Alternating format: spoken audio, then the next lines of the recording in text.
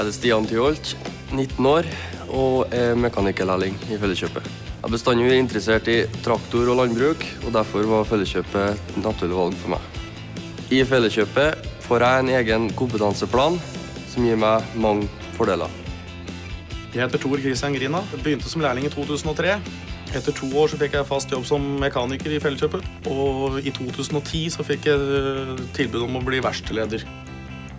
Arbeidsoppgavene mine er å få hverdagen til å flyte, hjelpe bonden til enhver tid, bestille deler og jobbe, jobbe godt i et team. Det som gjør at jeg gleder meg til å dra på jobb, det er at eh, jeg trives på arbeid, i lag med dem jeg arbeider i lag med, og det jeg arbeider med.